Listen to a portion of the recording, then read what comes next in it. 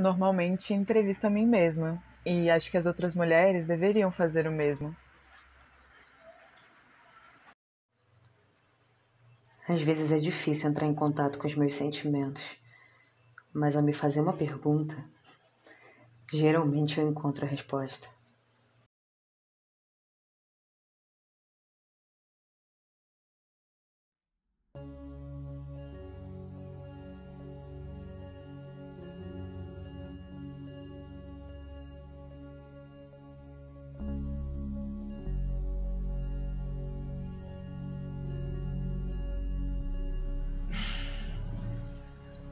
O amor, ele é um superpoder que a gente não perdeu quando se desligou do divino. É, o amor é, é a arma mais poderosa do universo, é a única coisa, é a única arma que é capaz de acabar com todas as guerras, as internas e as externas. Eu acho que o amor para mim ele já teve várias caras é, por isso é difícil responder essa pergunta, né? Porque a gente está aí constantemente tentando descobrir, entender e reconhecer o amor, porque às vezes ele se disfarça, né? Outros sentimentos se disfarçam de amor. Então hoje o amor é uma força vital para mim.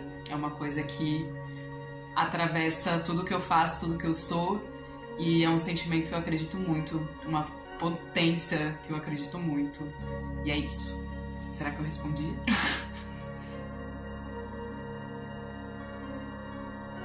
Ai. Eu queria dizer que sim, né? Mas eu acho que na, na, forma que a gente vive hoje em sociedade, sabe? O nosso modus operandi, acho que ele não permite muito a gente viver de amor, não. De repente, se a gente tivesse outras bagagens históricas e sociais, aí eu poderia dizer que sim, que é possível viver de amor, mas por enquanto não. O pessoal ainda não está aceitando pagar as contas com amor, né? Mas. Eu acho que é. Se é possível viver de amor, eu não sei. Tendo a dizer que não, porque o Império Europeu agora diz que a gente tem que viver de dinheiro, né? Mas uma coisa eu sei, eu sei que é impossível viver sem amor.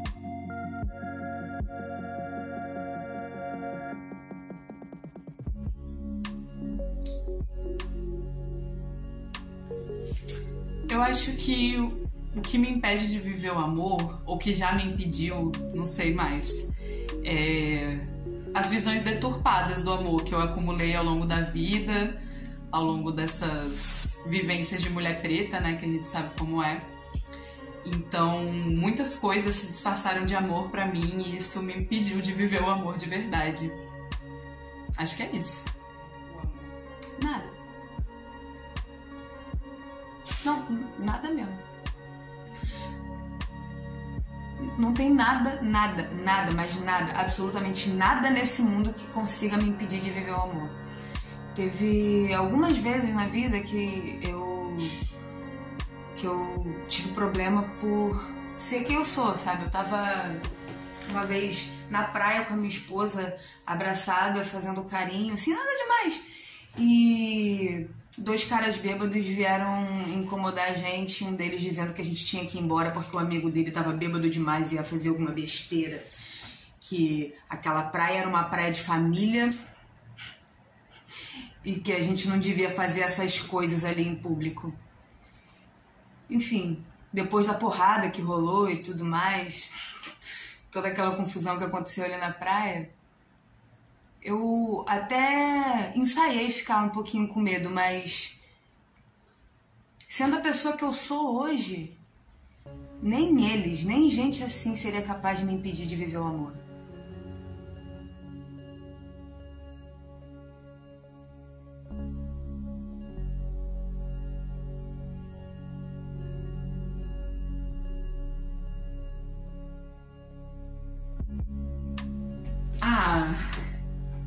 Próprio, né? O amor de mãe, de pai, de irmão, de irmã, que é diferente, gente. É família, mas é diferente. Vários filósofos já pensaram sobre isso, né? Já falaram sobre isso. É, inclusive um deles até nomeou. Tem o Filos, que é o amor assim fraternal, o amor que você tem pelos seus irmãos, pela sua família, pelas pessoas que cresceram com você, pelos, pelos entes queridos assim, os mais próximos. É, o amor pelo ofício, né, pelo trabalho. Tem Eros, que é o amor romântico, né, o amor que você sente por uma pessoa ou mais, mas é aquele amor que você escolhe dividir a vida e a cama com aquela pessoa. É, amor romântico, né? Que muitas vezes me, me atropelou, assim, várias vezes. Tem ágape, que é o amor universal, né? O amor enquanto uma vibração, o amor como um estado, uma possibilidade de ser.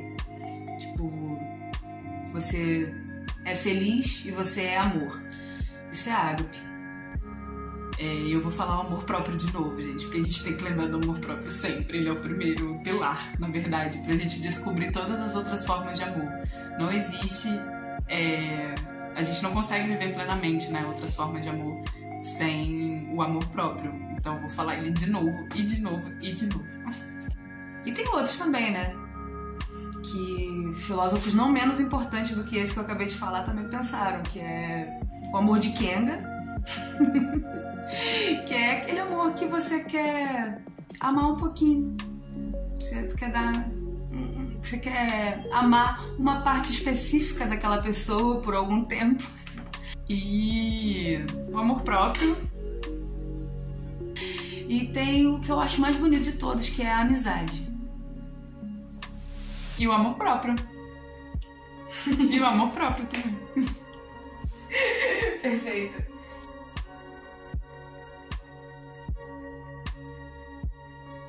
Aprender a amar é uma forma de encontrar a cura. A ideia de que o amor significa nossa expansão no sentido de nutrir nosso crescimento espiritual ou de outra pessoa me ajuda a crescer por afirmar que o amor é uma ação. Quando conhecemos o amor, quando amamos, é possível enxergar o passado com outros olhos, é possível transformar o presente e sonhar o futuro. Esse é o poder do amor. O amor, o amor cura.